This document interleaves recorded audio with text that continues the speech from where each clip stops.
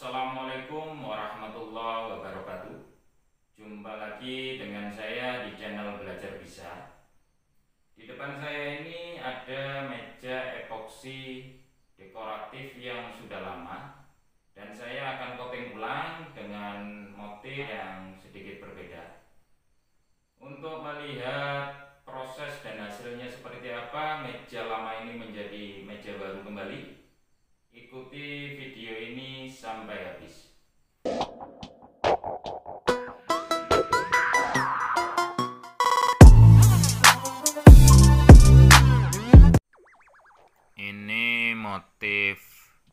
lama yang akan saya coating ulang.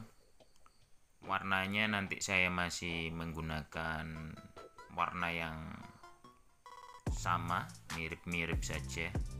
Cuman motifnya aja yang akan saya rubah. Saya amplas bagian atas meja atau permukaannya dengan amplas nomor 240 atau grid 240 ini tujuannya untuk melukai bagian atas meja atau permukaannya yang akan kita resin lagi agar lebih rekat menyatu lengket dengan epoksi yang lama. Kemudian kita lap saja agar tidak kotor dan berdebu berikutnya saya lakban dengan solasi kertas untuk menahan resin saat kita tuang agar nggak langsung turun ke bawah atau meluber ke bawah. Untuk ketinggian lakban dari permukaan meja cukup 1 cm saja kita ukur pakai water pass agar levelingnya bagus nggak ada kemiringan.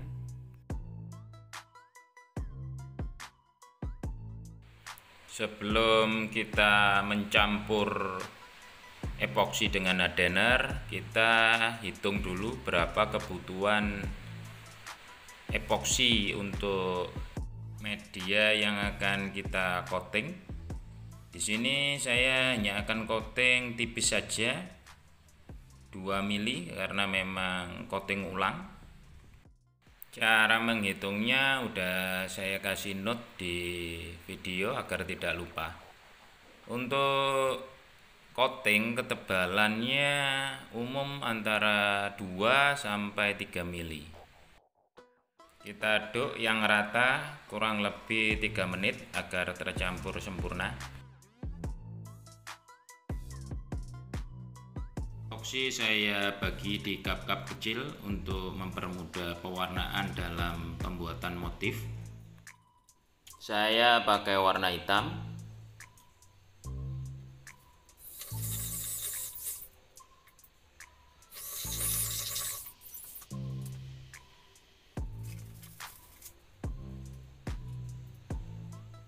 Kemudian glitter powder gold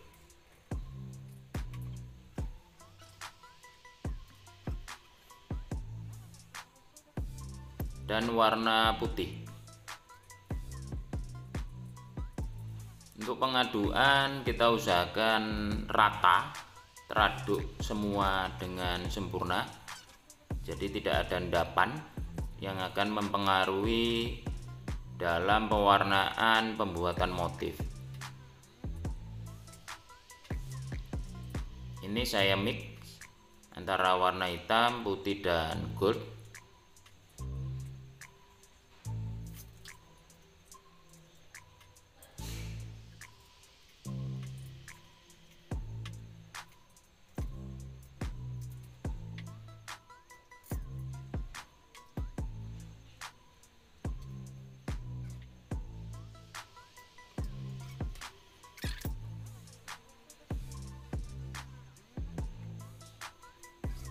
kita ratakan sisa resin yang ada yang tertumpah.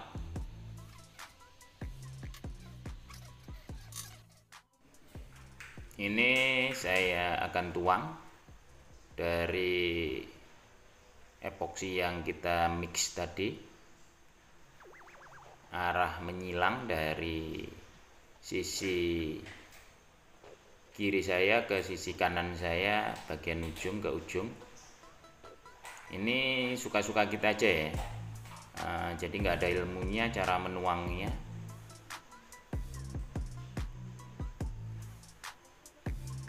Kita pakai insting saja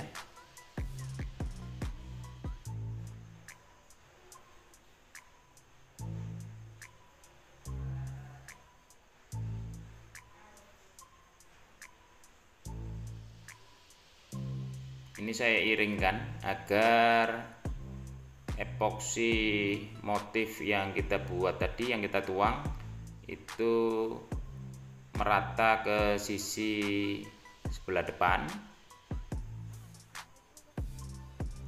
ke sisi sebelahnya dan juga arah kebalikannya. Ini mohon maaf ini nggak terlihat karena saya sendiri nggak ada kameramennya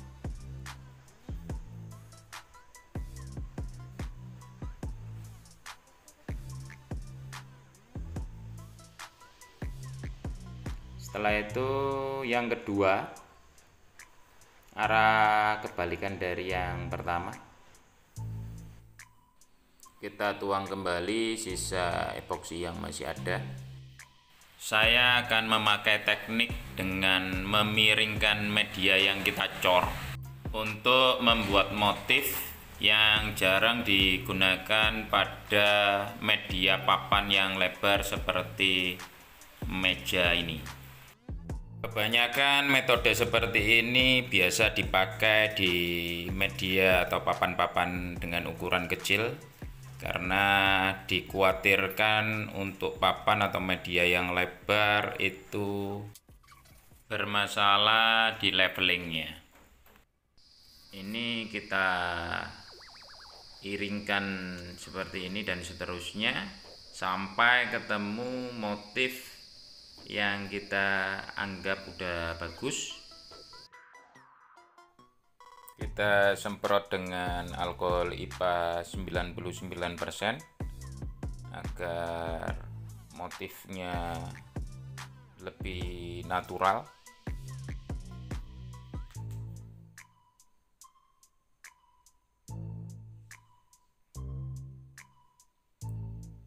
Kemudian kita torch ini fungsinya untuk menghilangkan bubble atau gelembung-gelembung udara yang terperangkap di resin. Kita tunggu sampai mengental atau temcel baru kita buka pembatas lakbannya. Oke ini udah 30 menit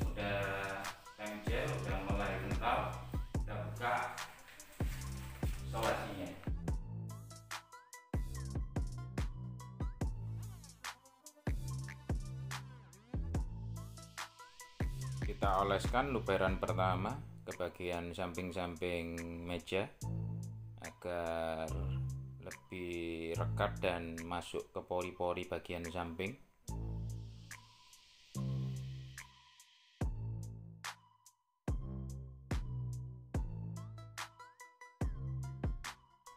Dan inilah hasil akhirnya meja lama yang kusam menjadi meja seperti baru kembali. Bila anda suka silakan subscribe like dan share untuk kemajuan dan perkembangan channel ini serta info-info terbaru. Bila anda ingin bisa membuat sendiri pahami teori, berani praktek, belajar, bisa dan menguasai untuk membuat produk sendiri. Semoga bermanfaat. Salam belajar bisa.